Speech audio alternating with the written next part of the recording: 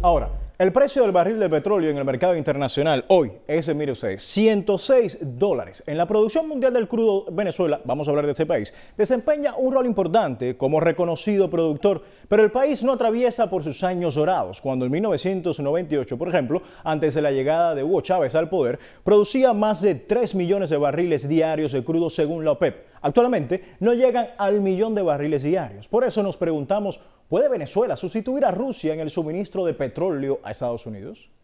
Apenas el presidente Biden anunció que suspendía la importación de petróleo ruso a Estados Unidos, el precio del barril se disparó y su efecto inmediato se reflejó en las gasolineras. Algo así como un 8% de la, de la demanda de crudo y productos eh, es suministrada por Rusia. Esa medida, implementada por Biden, repercute en un desabastecimiento de más de 200 mil barriles diarios que llegaban de Rusia. Y unos 460 serían productos. Y según confirmó su gabinete, el fin de semana una delegación de alto rango estadounidense se reunió con el gobierno de Nicolás Maduro en Venezuela para coordinar un posible levantamiento de sanciones económicas impuestas a PDVSA para que aumente su producción de petróleo. Venezuela producirá como unos 800, 700, 800 mil barriles. Una producción que contrasta con los más de 3 millones de barriles diarios producidos a finales de los 90, cuando Edgar era directivo de producción en PDVSA. Donde Chávez eh, despidió a 23 mil empleados de la industria. Venezuela era el principal proveedor de crudo a Estados Unidos en el 2000. Después de las sanciones económicas de Washington al régimen chavista y a Irán, Rusia tomó su lugar. La caída de la producción petrolera venezolana es anterior a las sanciones, pero muy, muy anterior. Actualmente, ¿puede Venezuela suplir al mercado global con su crudo y sustituir a Rusia en el suministro hipotético a Estados Unidos? Esos 700 mil barriles no los puede producir eh, Venezuela en este momento.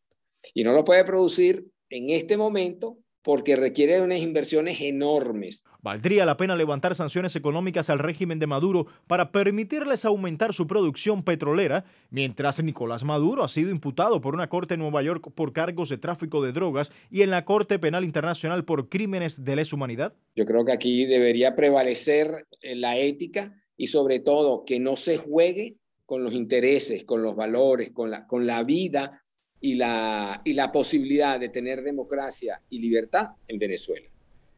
Ese es el sentimiento de un venezolano. Aquí un dato, actualmente el 51% del crudo que importa Estados Unidos proviene de Canadá. Históricamente Estados Unidos ha importado más crudo del que produce y las razones son por logística. ¿Por qué? Miren ustedes, es más, es más económico descargar el crudo en las cosas de los Estados Unidos para poder refinarlo, ya que las refinerías en ambos extremos del país no están conectadas por el principal campo de petróleo, a este principal campo de petróleo estadounidense, que se denomina el Permian Basin, ubicado en el oeste de Texas, justo aquí donde está Midland y Odessa. En el caso del petróleo ruso, la mitad de las importaciones a Estados Unidos llegaban a la costa oeste, donde estamos nosotros, en California. Un cuarto de los barriles diarios eran recibidos a la costa este, Nueva York, New Jersey, para que se ubique. En resumen, Amigos, Venezuela actualmente no puede suplir la demanda estadounidense ni tampoco la dependencia europea del petróleo y gas de Rusia.